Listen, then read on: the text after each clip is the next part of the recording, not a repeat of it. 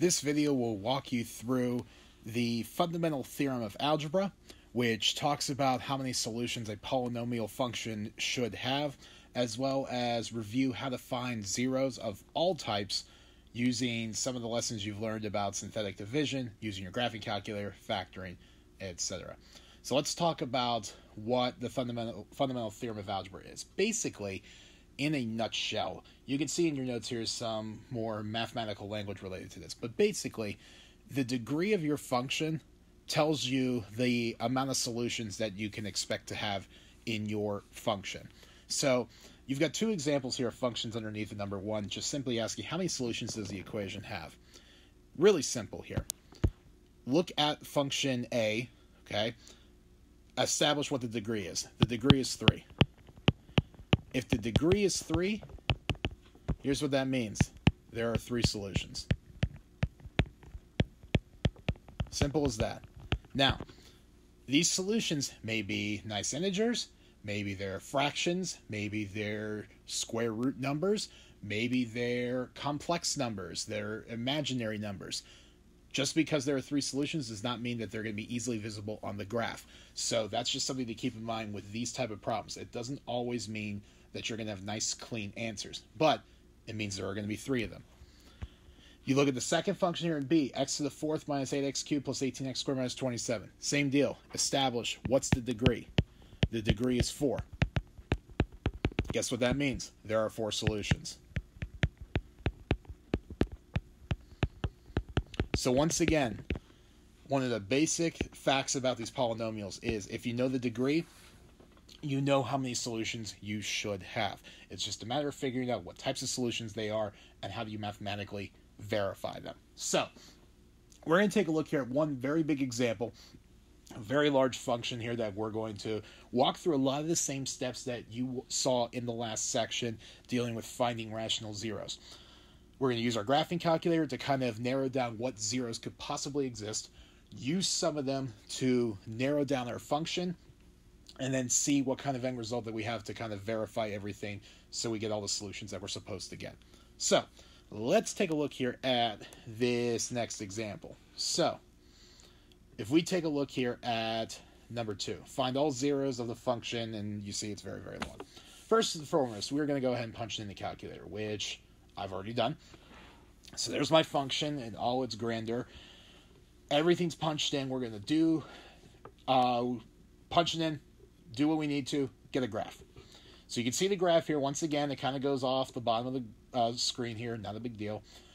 We're looking for zeros, aka we're looking for x-intercepts. Where does it touch? Where does it pass through the x-axis? Now you'll notice there's a couple of things about this graph. So first and foremost, the degree of this function is 5, which means there should be 5 solutions. If you look at this graph, it's only touching or crossing the x-axis two whole times. So, what that's generally an indicator of is possibly a couple of things. One, you can have zeros that are repetitive, that uh, repeat multiple times.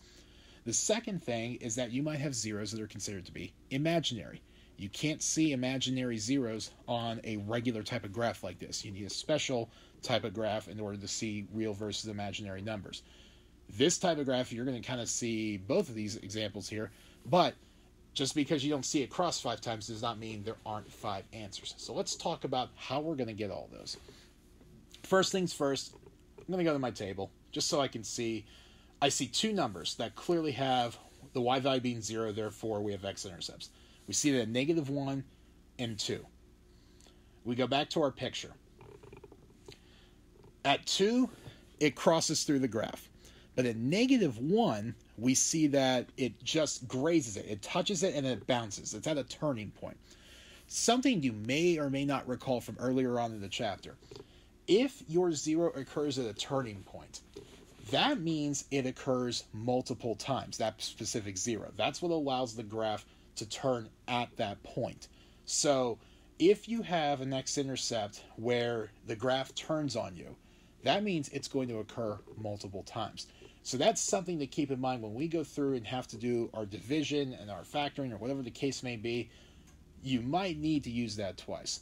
So let's keep that picture up here. Let's keep that in mind as we go ahead and figure out what the zeros should be. So once again, we're going to go ahead and start with the synthetic division process. Now, what you'll see first here is I'm going to go ahead and use negative 1 was a 0. So I'm going to pull that directly from the calculator. Look at your function, no placeholders. That's good. We have a lot of coefficients here, so take your time, make sure all your signs are right. Make sure all your numbers are written correctly. Now we're going to go ahead and synthetically divide. So pull down the 1, multiply by what's in the box, add the column, multiply and add, multiply and add, multiply and add, multiply and add. So just like you learned in the last section, the remainder should be 0. And if it is, you're in good shape. So based on this function here, I've got myself an x, an x squared, an x cubed, and an x to the fourth. So, I'm going to go ahead and pull down all those values. We can't do any factoring or solving until we get this to at least an x squared. So we're going to have to do synthetic division again. As I stated before, at negative 1, that was a bounce point. Therefore, it means that 0 is used multiple times. So I'm going to go ahead and use negative 1 again and again, I'm using that twice because it's at a turning point or a bounce point or whatever you want to call it. That's why I'm using this two times. The only time you can use a zero like that twice is when it is at a turning point. So I'm going to go ahead and just pull down all those coefficients from before. Okay, not even going to bother writing out the function here because it's not useful to us.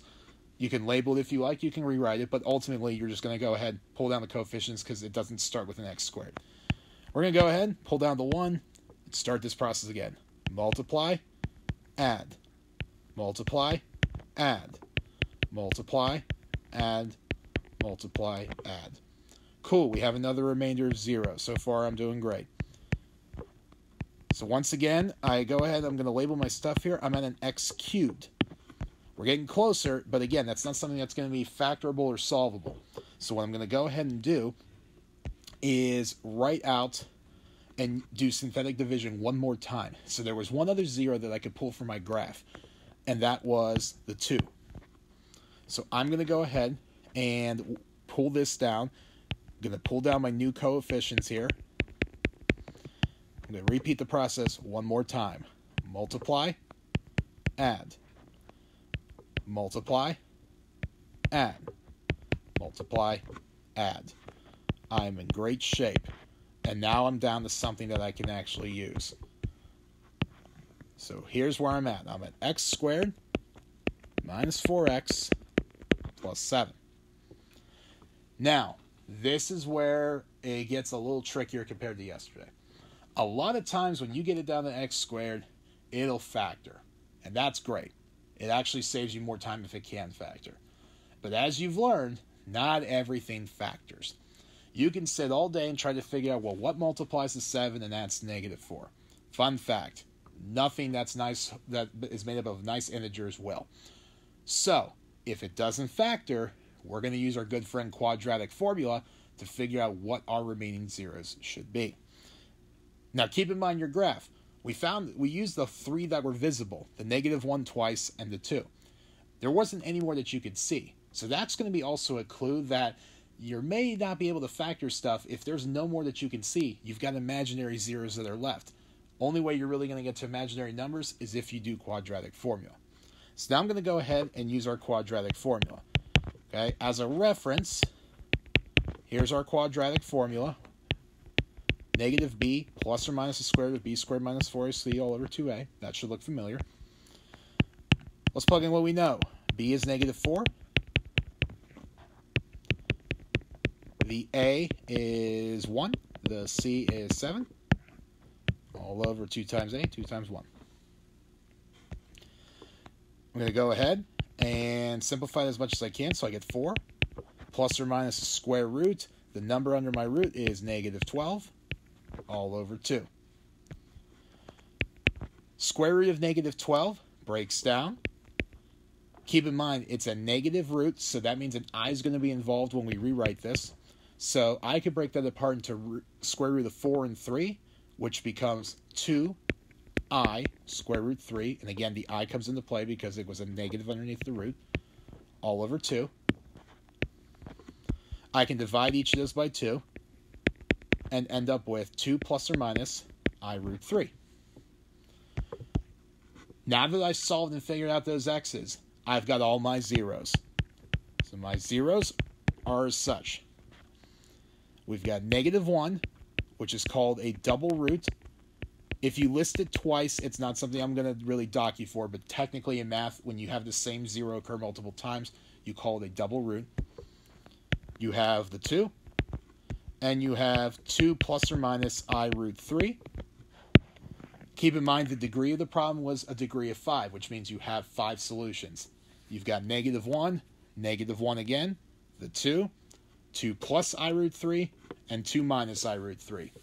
Five zeros, degree of 5, that all lines up. That's your final answer. So, again, we're combining a lot of math that you've seen, a lot of math that you know, and we're kind of just putting everything together here at a very big blender.